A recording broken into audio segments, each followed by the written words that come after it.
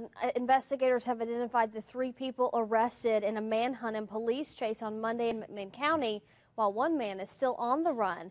According to the Tennessee Highway Patrol, Renaldo Joseph, Octavia Murphy, and Tachyna Sass, all of New York, were arrested after they fled from troopers and crashed near, near mile marker 38 in McMinn County.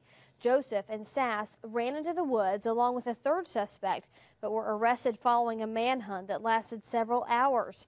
Murphy and Sass face several charges, including evading arrest.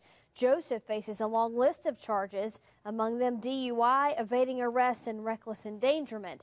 The fourth unidentified suspect is still on the run tonight.